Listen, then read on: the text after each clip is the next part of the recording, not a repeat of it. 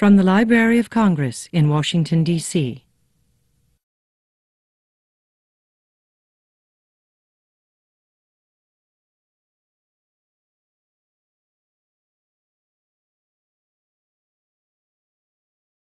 Well, good afternoon, Your Royal Highness, ladies and gentlemen. Welcome to the Library of Congress. I'm Mary Jane Deeb, Chief of the African and Middle Eastern Division, and today it is my distinct pleasure and honor to welcome to the library His Royal Highness Prince Eremia Haile Selassie.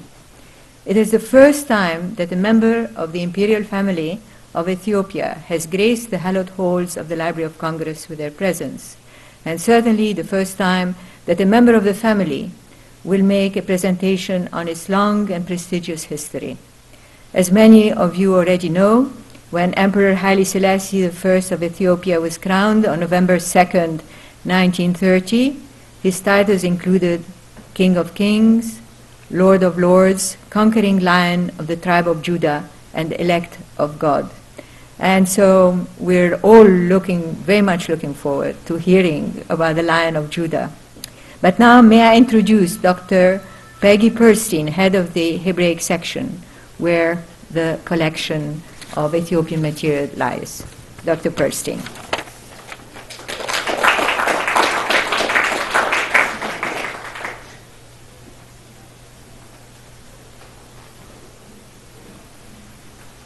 Good afternoon. As uh, Dr. Deeb mentioned, I'm Peggy Pearlstein. I'm head of the Hebraic section in the African and Middle Eastern Division of the Library of Congress, and our wonderful collection of materials uh, that uh, that are here here are part of the Hebraic section. And uh, before this presentation today, um, His Royal Highness Prince Ermias Sahle Selassie uh, came upstairs to the African Middle Eastern Division, and our reference librarian in charge of the materials, Fentahun Tiruneh, uh, made a wonderful presentation of manuscripts, newspapers, maps, and contemporary materials. So we're very pleased to have the materials here at the Library of Congress, and we encourage you to come and use them. Uh, as I mentioned to the Prince, the collection is used. Um, but we're always happy to have uh, other people come and make discoveries as well. And so now I'd like to turn the program over to Fenta, who will introduce the prince.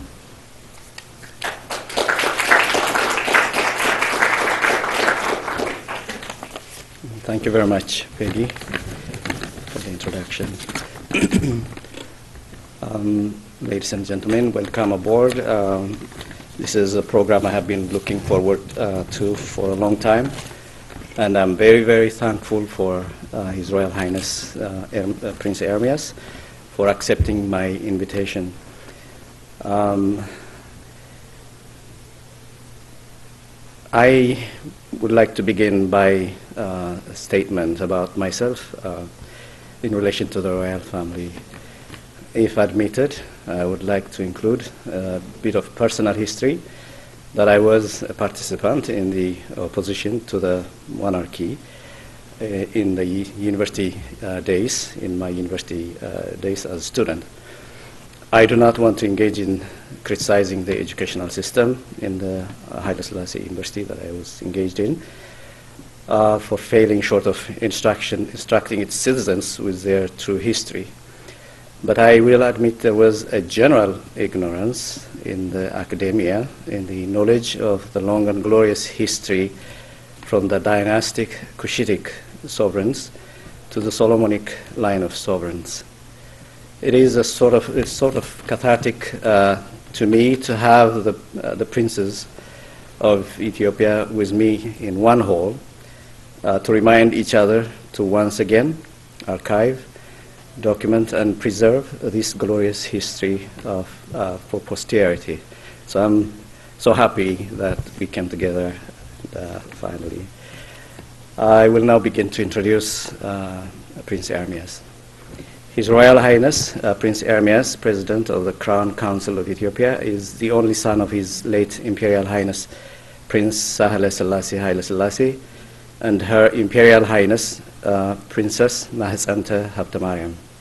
The late Prince Haile Selassie was the youngest son of His Imperial Majesty Emperor Haile Selassie and Empress Menen of Ethiopia.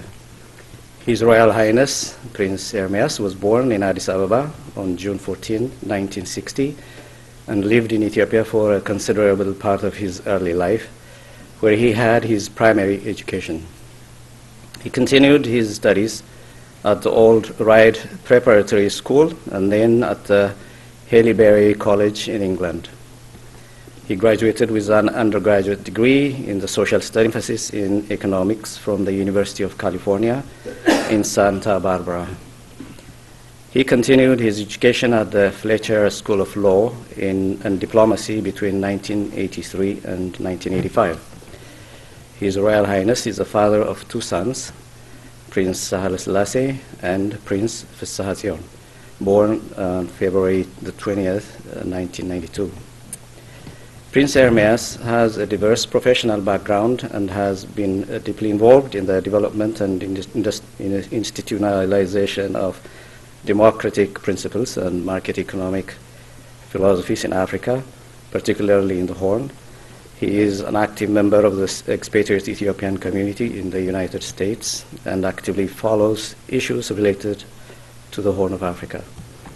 In 1993, Prince Ermias was invested in exile as the president of the Ethiopian Crown Council, the body which acts during an interregnum as the custodian of the crown and which during the reign of an emperor acts as the principal advisory body to the crown. The appointment was made by the late Emperor Amha Selassie I. Upon his installment, the prince has traveled extensively and met with a dozen heads of state promoting the welfare of Ethiopia and Ethiopians. In 1998, he briefed the United States Congress on two occasions regarding the prospects for peace in the Horn of Africa. This included a special briefing to the United States Senate Foreign Relations Committee on October 14, 1998. In 1997, High, uh, his, uh, his, Royal Highness was named recipient of the International Strategic Studies Association Silver Star Award for outstanding contributions to strategic progress through humanitarian achievement by the worldwide, worldwide NGO, the International Strategic Studies Association, for his accomplishment in supporting Ethiopian refugees. His Highness is patron of the Haile Selassie Fund for Ethiopia's Children Incorporated, uh, a US-based non-profit charitable trust which raises funds for causes which aid Ethiopian children, including scholarships. I now call upon His Royal Highness Prince Ermias Haile to the podium to give us his presentation on the Lion of Judah. Thank you.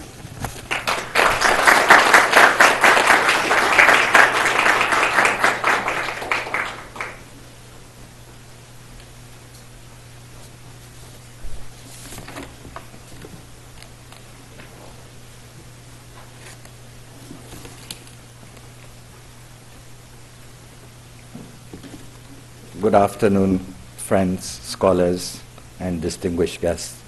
It is my great honor and privilege to be here with you today in the renowned Hebraic section of the United States Library of Congress, African and Middle Eastern Division. To begin with, I will share with you an ancient Ethiopian saying We must study the past and understand the present to, to charter a better future for us all. I must tell you that I am not a theologian and make no pretense at being so. Indeed, some, perhaps many of you, already possess extensive knowledge of today's subject the origins and religious symbolism of the Lion of Judah. Consequently, I will initially introduce the subject and hopefully end with a robust question and answer period, which I anticipate will prove both entertaining and enlightening for all of us. It is with great reverence, humility, and some concern I come before you to discuss and explore this topic. My concern springs from the certain and harsh knowledge that whenever poetry and magic of myth is interpreted as biography history, or science, it is frequently mortally wounded. The living images become only remote facts of a distant time or sky, and it's never difficult to demonstrate that as science and history, mythology is in a large part absurd. Thus, when a civilization begins to reinterpret its mythology in this way, as biography, history, or science, the life goes out of it. Temples become museums or tourist attractions, and the link between the two perspectives is dissolved. In modern times, arguably, such blight has even descended on the Holy Bible, both in the Old and New Testament, and a great part of the Christian movement. The late and renowned American mythologist, writer, and lecturer, Joseph Campbell, has observed that symbols are simply the vehicles of communication, and that they must not be mistaken for the final term, the tenor of their reference. Thus, no matter how attractive or impressive symbols may seem, they remain but convenient means accommodated to the understanding. Hence, the personality or personalities of God, whether represented in the Trinitarian, dualistic, or Unitarian terms, picturally or verbally, has docu- as documented fact or apocalyptic vision, no one should attempt to read or interpret them as the final thing. The abiding challenge of the theologian is to keep the symbol translucent so that it may not block out the very light that it's supposed to convey. For then alone do we know God, writes St. Thomas Aquinas, when we believe that he is far above all that man can possibly think. Thus, mistaking a symbolic vehicle for his tenor can lead to spilling not only of valueless ink, but also valueless blood. To bring the images back to life, one must seek not interesting applications to modern affairs, but illuminating hints from the inspired past. When these are found, vast areas of half dead iconography disclose again their enduring and permanently human meaning. In the Jewish tradition, the earliest reference to, to the line of Judah comes from Genesis, in the first book of the Hebrew Bible, the Torah, and the Christian Old Testament. The book of Genesis is generally considered to have been written sometime between 1400 and 1440 BC.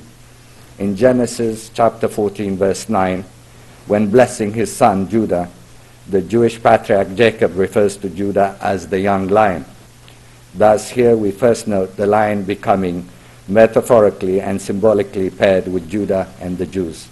It is also from this text that the Lion of Judah further evolves into a titular station or office, defender and leader of the Jewish tribe, which itself becomes the basis of considerable messianic expectation and speculation in early Judaism. Indeed, King David, the Jewish Messiah, becomes inextricably and historically linked in the Judaic and Christian tradition as the reference for the Lion of Judah. We frequently find lion gates in archaeological ruins, from Israel to the gates of Ethiopia's Aksumite empires, palaces, and temples, to the Hittite sites in Turkey, to the Babylonian and Persian sites in Iraq, or the Assyrian and Egyptian sites. It was widespread and popular symbol of royalty, as the lion was seen by many as the king of the predators, or even as the king of all the beasts. In fact, we know that Ramses II kept live lions, as did successive Ethiopian emperors, including up until the time of my late grandfather, the last emperor, Haile Selassie I. In ancient J- Jewish art, we often also find lions depicted in protective roles, guarding the Ark of the Covenant at chapel entrances, as in the sculpture of the ancient synagogues at Sardis, Horazim or Baram in Palestine, and in many of the mosaics dating from the early Byzantine era. In medieval Jewish art, the lion pair is commonly depicted leaning up on either side of the tree of life next to the crown. Thus, it is the heraldic shield replaced by a symbol of God, and the lions are seen as serving the King of all kings. In modern times, the Jewish heraldic representation of the city of Jerusalem remains the venerable Lion of Judah. In the subsequent Christian tradition, the lion allegory persists in the New Testament book of Revelation, chapter 5, verse 5. And one of the elders said, said unto me, Weep not, behold, the lion of the tribe of Judah, the root of David, had prevailed to open the book and to open the seven seals thereof. Although the dominant image of Jesus in Revelation is the slain, but now the triumphant lamb, the Apostle John continues to employ the uh, powerful and traditional lion symbol. In Revelation chapter 5, verse 5, it proclaims that the lion of the tribe of Judah has already triumphed, not through final judgment on the wicked, but rather through his atoning death and opening up the possibility for all of us to be saved. Christ, therefore, is worthy to unseal the judgment scroll because he has already achieved salvation through his death as the slain and sacrificial Lamb of God who takes away the world's sin. Theologians generally concede that the symbol is read and understood as direct reference to Jesus, where he is regarded as the lion of the tribe of Judah and the root of David. In Christianity, the Lion of Judah symbol is commonly used to refer to Jesus Christ. In fact, many Christian ministries use the symbol as their emblem or prefix to their names. Christians believe that while the ancient tribe of Levi prepared priests, that of Judah was the tribe of kings. Jesus is believed to be descendant of the tribe of Judah Jesus is commonly referred to as the overcoming one and the one qualified to open the scrolls and the seven seals. According to the book of Revelation, Jesus was the sacrificial lamb and the lion of Judah. The prophecy of the coming of the Lord to judge the world as the lion of Judah is clear throughout Revelations. As the earth's oldest independent nation, Ethiopia traces its unbroken history back to more than five millennia. The earliest records of Ethiopia around 3000 BC, just prior to the Egyptian Old Kingdom, came from Egypt, Egyptian traders who referred to the lands south of Nubia as Punt or Yam. The first known Egyptian voyage to Punt occurred in the 25th century BC under the reign of Pharaoh Sahure. The most famous Egyptian expedition to Punt, however, comes during the reign of Queen Hatshepsut probably around 1495 BC, as the expedition was memorialized in the intricately carved reliefs on the temple of Deir el-Bahari at Thebes. There are also numerous references to Ethiopia in the Old Testament of the Hebrews and the Christian Bibles. As the Old Testament is to the Hebrews or the Quran is to Islam, the Kebra Nagast or the Book of the Glory of Kings of Ethiopia is the ancient and revered repository of our country's millennia-old national and religious history, as well as our constitution. More than 700 years old in its present and written form, the Kebra Nagast derives from Ethiopia's millennium-old oral tradition and details the history and origin of the Solomonic line of Ethiopian kings. It is also regarded to be the definitive authority on the history of the conversion of Ethiopia to Christianity. The Solomonic dynasty of Ethiopia is so named by the virtue of the dynastic descent from the union of the venerable Jewish Messiah King Solomon of Israel and the Queen of Sheba more than 900 years BC. By Ethiopian dynastic tradition, all monarchs must trace their lineage back to Menelik I, who was offspring of King Solomon and the Queen of Sheba. In 1930, my late grandfather took the title His Imperial Majesty Haile Selassie I, King of Kings, conquering Lion of the tribe of Judah and elect of God.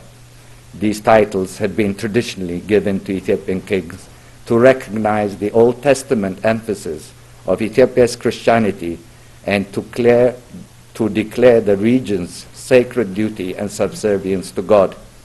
That is why frequently Ethiopian monarchs refer to the psalmist quote, Princes shall come out of Egypt, and Ethiopia shall sh- stretch her hand unto God. In Ethiopian tradition, Menelik, who had returned as a young man to visit his father Solomon in Jerusalem, was regally received. When Menelik departed to Ethiopia, King Solomon, which, who was very pleased by the regal manner and demeanor of his royal offspring, ordered the chief priest to and advisors of, king, of the kingdom to send their first sons with him for the benefit of the Ethiopian crown, which would Menelik would eventually inherit. Among these was Zadok, the high priest, who is claimed took the Ark of the Covenant with him. The theft was concealed from Menelik, who did not learn until the party had returned to Ethiopia. The symbolism of the Ark is particularly potent in Ethiopian Orthodox Church. Every single church must contain a replica of the Ark before it can be consecrated. One of the most important festivals in the calendar of the Ethiopian Orthodox Church is Timkat, during which the Ark, or the replica thereof, is wrapped in shroud and carried in great processional reverence. The Kebra Nagast relates this marvelous story of how the Ark of the Covenant came to Ethiopia, where it is believed to be enshrined in the special treasury at the chapel of the tablet constructed next to the church of St. Mary of Zion in Aksum. It is reported that the ark was moved to St. Mary's into the chapel because of the divine heat from the tablets had cracked the stones of its previous sanctum. Indeed, my late grandmother, Empress Menen, had paid part of the construction cost of the new chapel. The Church of St. Mary of Zion in Aksum is a venerable icon of the Ethiopian religious belief and legend. It is also the most important church in Ethiopia. St. Mary is dedicated to the Holy Mother Mary, who in the Christian tradition was the vessel of Christ, and thus the fulfillment of religious prophecy. Adherents believe that when Mary was exiled in Egypt, that she had also had visited Ethiopia. The original St. Mary's Zion was built in the 4th century AD and has been destroyed and rebuilt again. Ethiopia was a respected and sophisticated empire in the time of the New Testament. In fact, the Ethiopian eunuch, in the eighth chapter of the Acts of the Apostles, returning from a pilgrimage to Jerusalem, is the first Ethiopian to be baptized by the Apostle Philip. We learn that he is the keeper of all the treasure of the queen, who is named Kandake, a regal, uh, a regal name. Thus, the eunuch is actually identified as the queen's treasurer, a position of supreme confidence in the royal household.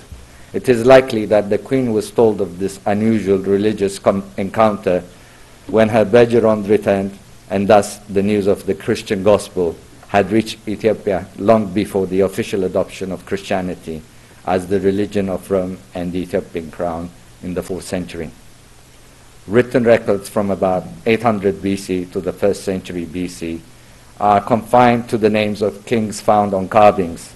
However, the Aksumite period is relatively well documented. The Aksumite kingdom represents a significant peak of Ethiopian civilization, which spans the era of conversion of the ruling dynasty to Christianity in the 4th century AD. It was also considered a very advanced civilization by the Roman emperor Empire. In fact, the Roman Emperor Constantine had declared that citizens of Aksum were to be considered equal with the citizens of Rome.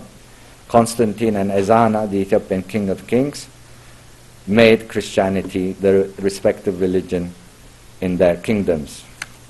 In the ancient and revered tradition of the Ethiopian Orthodox Christians, there had been three traditional symbols of demonstration and manifestation of humanity's intimate relationship and connection with the divine. And that these are called the three Zions.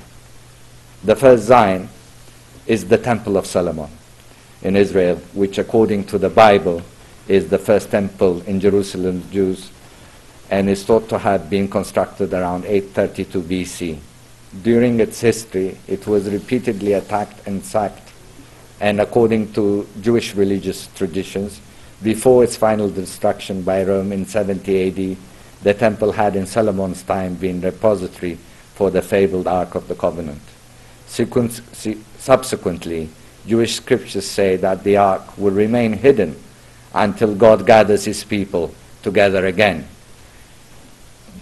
The Jewish faith today believe that the Temple of Solomon will and must be rebuilt before the coming of the Antichrist. Indeed, contemporary Orthodox Jews pray three times a day for the restoration of Solomon's temple. Adherents of the Orthodox faith in Ethiopia believe that according to prophecy, when the temple is rebuilt again, one door is reserved for the Lion of Judah, for Christ to open it up again.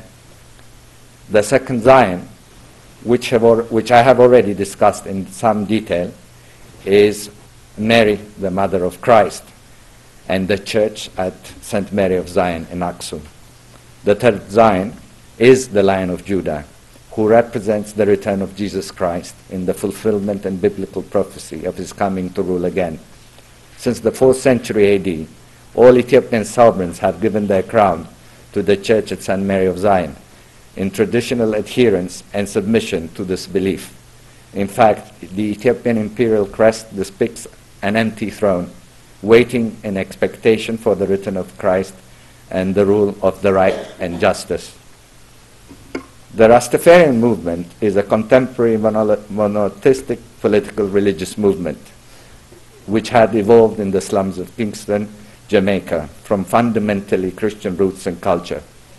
In Trenchtown's, mean and overweening environment of poverty, depression, racism, and class discrimination, the Rastafarian message of black pride, freedom from oppression, and hope of the return to the African homeland had found fertile soil. And within this milieu in the 1930s onward, that the Rastafarian movement developed its own distinctive style of language, hairstyle, art, and music. Although popularly believed to have originated on November 2, 1930, with the investiture of the Emperor Haile Selassie, Rastafari has actually been inspired in the 1920s nationalist movement founded by Marcus Garvey, a Jamaican publicist, organizer, and black nationalist, considered by his followers as a prophet and the second John the Baptist. Though there is a significant variation within the Rasta movement, there is certainly no formal one singular organization. Undeniably, some Rastafarians see Rastafarian as a way of life more than a religion. Rastas do not claim sects or denominations, but encourage one another to seek faith and inspiration within themselves. The central and uniting theme, however, of this highly diverse movement are the enduring belief in the divinity and messianicship of Ethiopian Emperor Haile Selassie, the influence of Jamaican culture, resistance to oppression, and pride in its African heritage.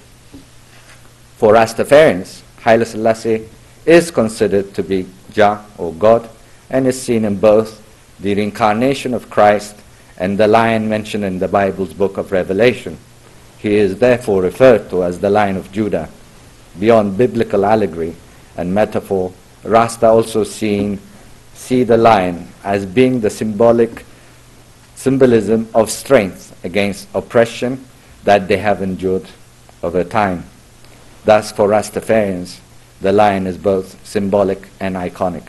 The lion can be found on the Rastafarian flag and on many other items associated with the Rastafarian faith. The name itself, Rastafari, derives from the pre-regnal title given to Emperor Haile Selassie, literally meaning head or leader, Tafari, before he, he, he took on the name Haile Selassie.